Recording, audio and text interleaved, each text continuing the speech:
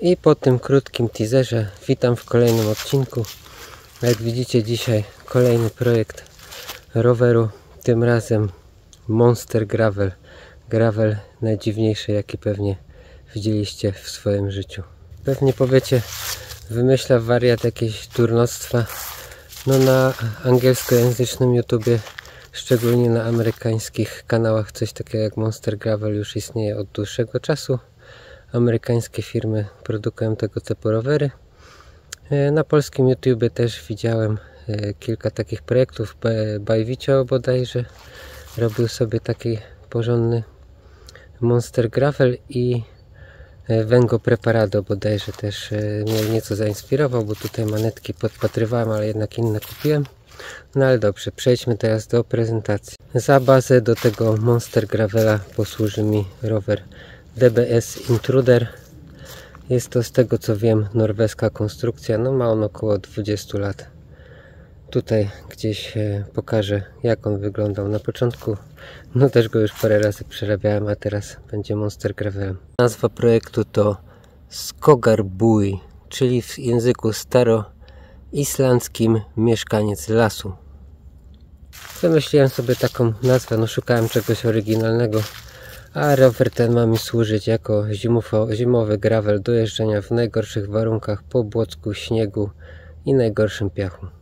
Prezentację zaczniemy typowo od przodu, czyli na samym przodzie mamy koła. Jak widać są to Maviki X138 wyprodukowane we Francji. Nie tam jakieś Chińczyki, nie wiadomo co, są to stare koła, mają około 20 lat.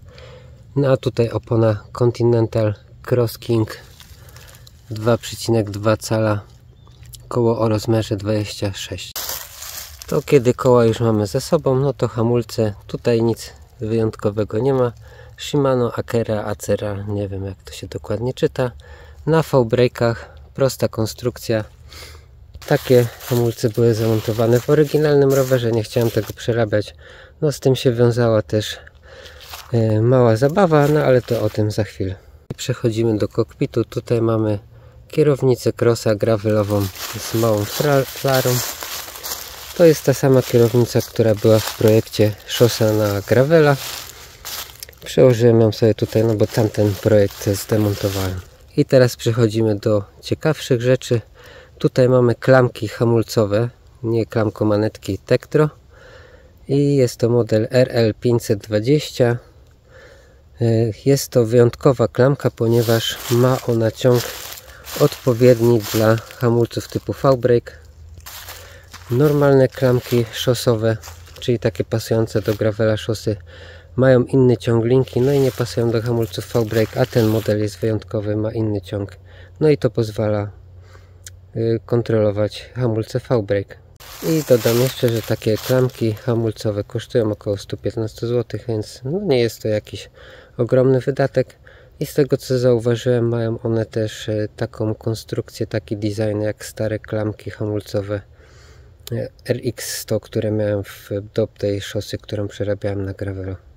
Jest to praktycznie taki sam design. Jak już wspominałem, ten Monster Gravel ma tylko e, klamki hamulcowe, a do przerzucania biegów mam manetki. I to jest zdecydowanie najciekawsza część tego roweru, najdziwniejsza pewnie też.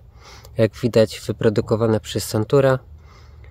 Y, jest to manetka zmiany przełożeń y, nieindeksowana, czyli nie mamy pstryknięć, sami musimy sobie linką ustawiać y, to, który bieg nam wejdzie.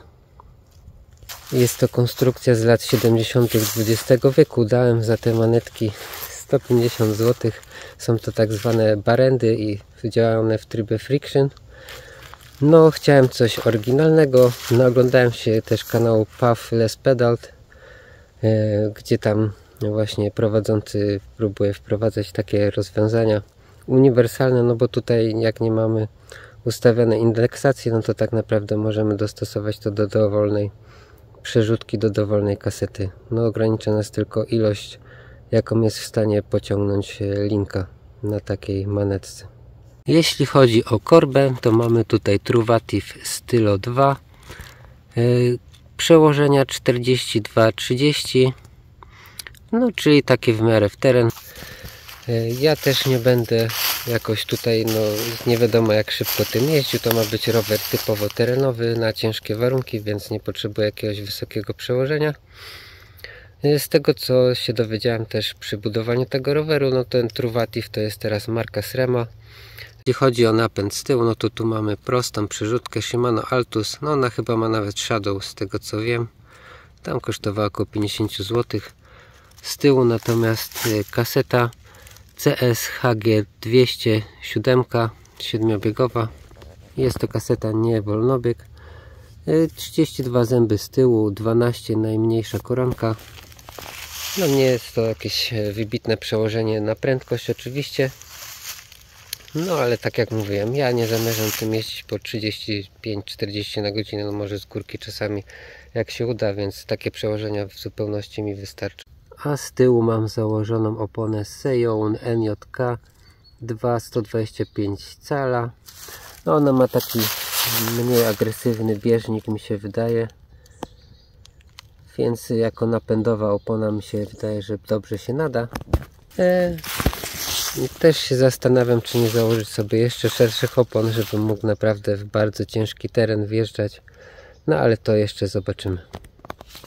Do tego jak widać rower pomalowany w niebieski kamuflaż i do tego też są niebieskie akcenty. Tutaj na przykład niebieskie śruby na mostku czy niebieskie końcówki a na AliExpressie udało mi się znaleźć jeszcze taki fajny kapsel tylko tą śrubę bym musiał jeszcze odrcewić a jak to jeździ? No za chwilę pokażę kilka ujęć z terenu napiszcie w komentarzu co myślicie na temat takiego dziwnego roweru Wiem, że to jest pewnie niekoniecznie potrzebne, ale ja się lubię pobawić w budowanie rowerów. Taki sobie projekt teraz wymyśliłem. Taki zbudowałem. Pewnie jeszcze coś tam będę wymieniał, usprawniał, bo te komponenty są stare, ale no zobaczymy.